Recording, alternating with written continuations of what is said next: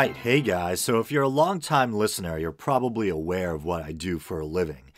I have a graphic design degree and I do some freelance design work on the side, but my main job still, for some reason, is working in construction with my family. Well, recently uh, we've been remodeling an attic in Somerville, Massachusetts. And while gutting the floor, I found some really interesting stuff. The bays between the joists were stuffed with old newspapers from the 1940s. Might not sound too exciting, but some of the headlines and the stories were mind blowing. So I thought I'd share them with you guys. So if this is your first time listening or watching, yes, this is usually a podcast for atheists, agnostics, and yes, whoever. But today I thought I'd break from the norm. So here we go. And uh, instead of saving the piece de resistance for last, I guess, uh, I just butcher that French anyway. I guess uh, instead I'll start with it instead of uh, keeping you guys waiting. And just a heads up, I don't think I'm going to do an audio only version of this one. It relies so heavily on the visuals. They'll probably upload a video version of this to uh, Podbean as well and not just YouTube. But anyway, so this is pretty incredible. So I found a copy of the Boston Post that's dated Friday, November 16th, 1945. And this is like a front page that someone would make up if they were trying to, you know, capture the spirit of the 1940s altogether on the same front page. We have a mention of Hitler, a mention of Pearl Harbor, a reference to the Russians. It sounds like something that you'd find in the National Enquirer or something, but in big letters, reveal Hitler had daughter. Photos found in Eva's or Ava, that must be referencing Eva Braun. Ava's treasure chest show Fuhrer in all sorts of poses with blonde baby girl, taken from infancy through age of three. Child named Ushi, I think it is, believed born in 1941. Chest also contains 1 million silver set and hundreds of valuable gifts from Hitler. Ava's diary speaks often of her undying love. And so I wasn't sure if, if Hitler had children. I didn't think he did, at least not according to the mainstream narrative. So I looked online, and, and the mainstream consensus seems to be that he didn't have children, although there are theories to the contrary out there. Then right there in the middle, we have the Queen of Pigtails. Um, I don't think that's an official uh, designation. I wonder what her duties are as the Queen of Pigtails and how extensive her authority is. Uh, but then to the left, the first story on the page U.S. knew Japs would attack. And it's probably jarring to a lot of people's ears to hear, you know, a mainstream newspaper referring to the Japanese as Japs, and right below it referring to the Russians as Reds. Uh, but this would have been very common for the time. And of course, we were at war with the Japanese at the time. But even so, very politically incorrect according to our modern standards. It'd kind of be like us referring to uh, ISIS as towel heads or something. Now, I'm not a conspiracy theorist, but I love watching conspiracy theory videos. I'll watch Alex Jones sometimes. Um, I'll even watch really off the wall stuff like uh, David Icke presentations and things like that. And, and I forget what I was watching. Uh, maybe I was watching some 9 11 conspiracy videos or something but they were talking about the government knowing about Pearl Harbor beforehand and maybe even trying to suggest that Pearl Harbor was a false flag. And then, literally a day or two later, I found this newspaper in the floor of uh, the attic that we were gutting, and uh, U.S. knew Japs would attack. Learned war plans months before Pearl Harbor by solving code. Probe bears secret messages. And I didn't know the Associated Press had been around this long, but it, it's uh, the article begins, and it's hard to read that fine print. But Washington, November fifteenth, AP. That must be Associated Press. And then below, as I referenced earlier, there's that story about the quote unquote Reds, Reds to get chance to share atom. And this is kind of funny because the newspaper's dated 1945, so that would have been around the end of World War II And the Cold War didn't begin until what, like 1947? And already they're talking about Reds getting a chance to uh, share atom.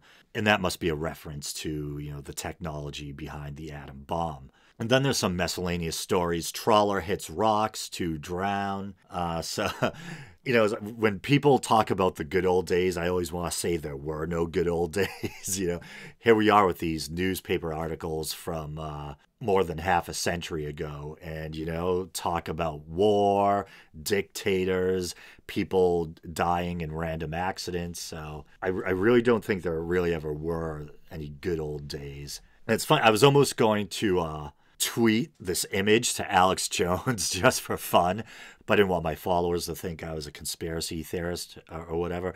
But it'd be fun to see how conspiracy theorists uh, would react to something like that, what they'd make of it. And as far as the government knowing about Pearl Harbor beforehand, I thought it was kind of common knowledge that there may have been some chatter about a possible uh, attack on Pearl Harbor uh, beforehand. You know, just what I've gleaned from History Channel documentaries and things like that. But here's a little bit from Wikipedia. It says From the 1950s, several writers alleged that parties high in the US and British governments knew of the attack in advance and may have let it happen, or even encouraged it, with the aim of bringing the US into war. However, this advanced knowledge conspiracy theory is rejected by mainstream historians. And like I said, I'm not a conspiracy theorist but it, it, it's kind of it's kind of wild to see it right there in a 1945 newspaper. U.S. knew Japs would attack. Then this one caught my eye because uh, I'm a lifelong sufferer of allergies and asthma. Um, why am I working construction when I have allergies and asthma? I don't know. Once again, I must be some kind of masochist. But uh, this article talks about the discovery of a new drug the University of Illinois, blah, blah, blah. Some of the articles missing. A medicine announced yesterday discovery of a new drug it said brings marked symptomatic relief from hay fever and asthma and other common allergies. And then it says the drug Benadryl. so, you know, Benadryl is a very common allergy medication and it's probably considered kind of you know, old school now. And uh, there it is, the discovery of Benadryl. Maybe I'm kind of nerdy, but I actually found that really interesting. I'm trying to think which is the one that um, people use to make crystal meth. Uh, was it Benadryl or was it Sudafed? But I remember, was it like a few years back, they started moving all these over the counter antihistamines and decongestants and things behind the counters uh, to keep people, what they call them on uh, Breaking Bad, Smurfs.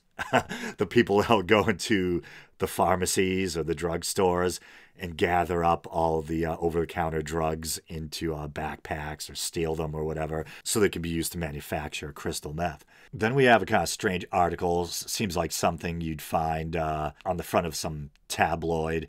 Uh, Jungle gives up Wolf Boy. And those images actually look familiar. I think I may have seen those images in uh, like a history or discovery documentary about uh, feral kids or whatever. Now, this was pretty timely. You guys will probably remember that recently there was a film released called uh, Trumbo, and it was I think it was about the McCarthy hearings and the kind of uh, anti-communist witch hunts that were going on, and a lot of different people in the Hollywood community being targeted. And one of the figures that was targeted uh, was Dalton D. Trumbo, and they just made a movie about him. And here is an article ab- about Trumbo uh, for facing prison in Red Movie Probe. And of course, Red referring to, uh, you know, communism or communists.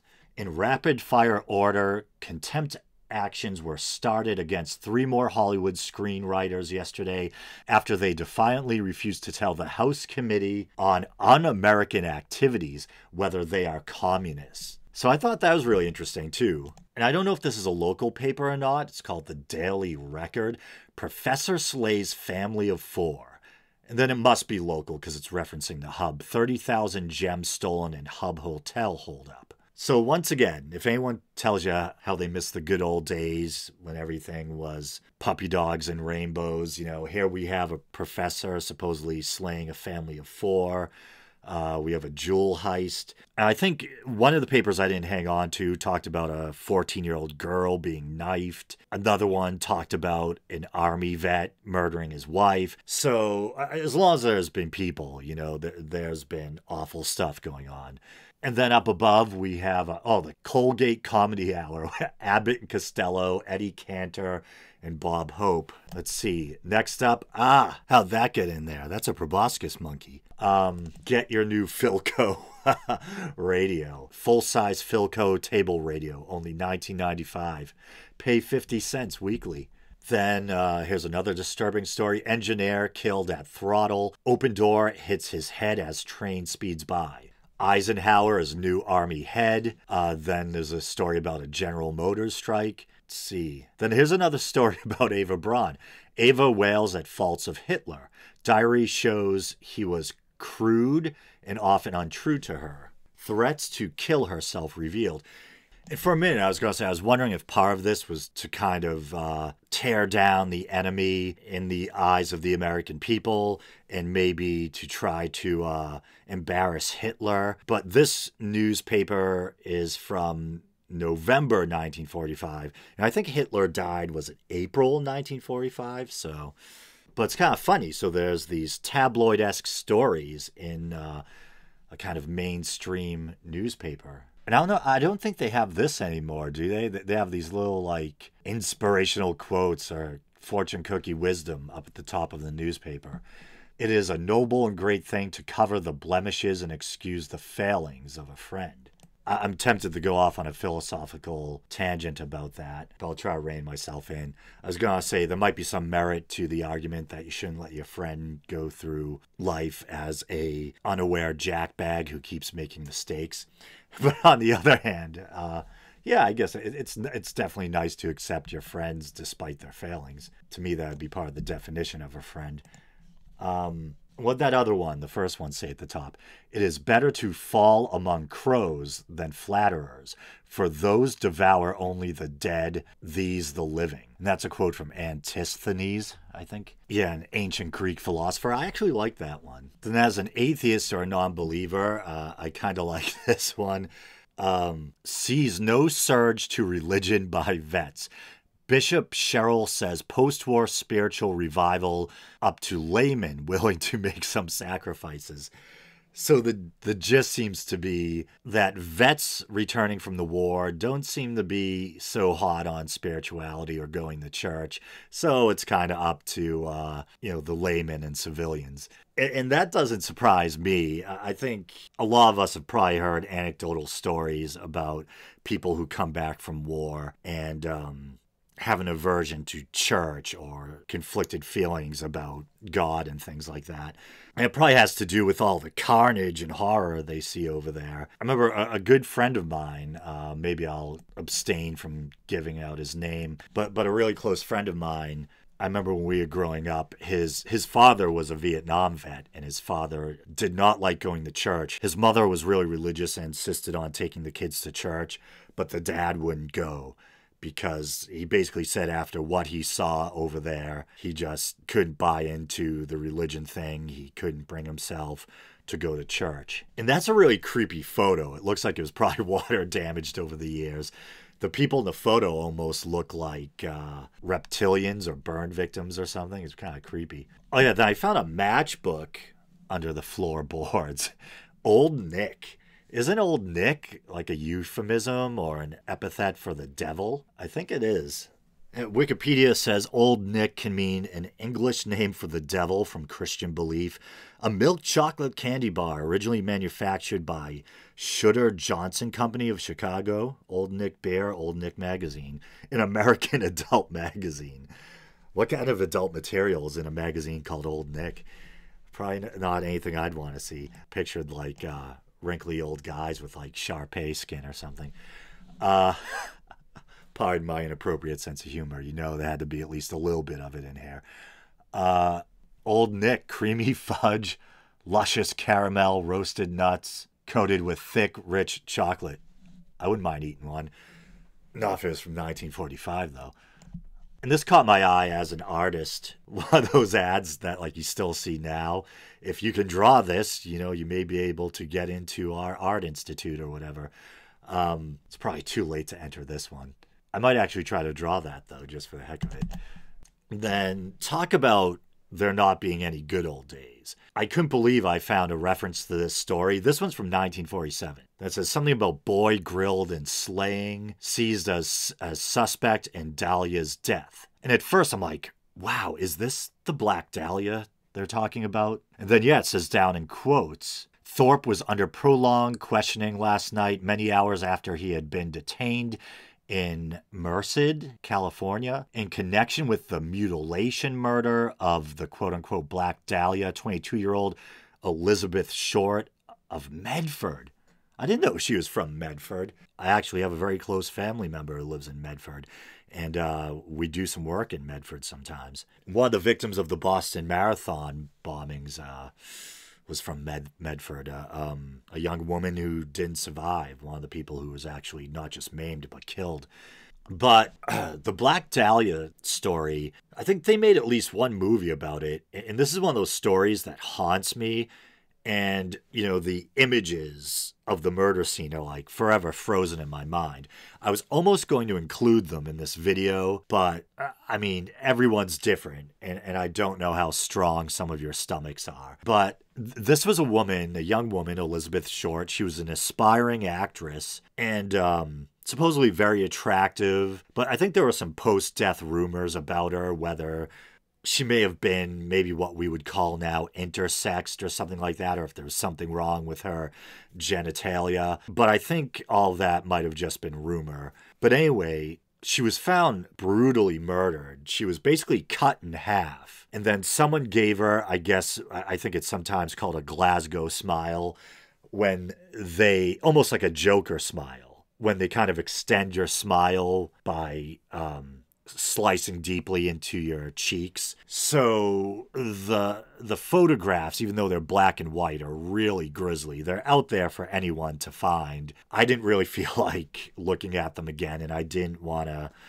really disturb anyone by including them in this video, but you can find them easily enough. Just Google the Black Dahlia, Elizabeth Short, or whatever. Yeah, so it's basically the photos show. I think it's. I think she's nude. Her nude body severed. The two halves of the body, probably like a foot or a couple of feet away or apart, and you know this hideous grin carved into her face.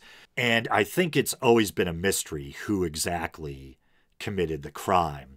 So it kind of blew my mind when I saw a headline about a possible suspect. And I just thought it was kind of wild. You know, if you saw this in a movie, someone finding old newspapers in a floor or underneath floorboards, and they had to do with all these high profile stories, you'd probably think it seemed unrealistic, you know?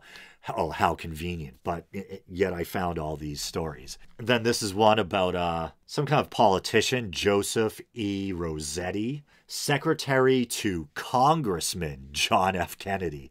So that's pretty wild.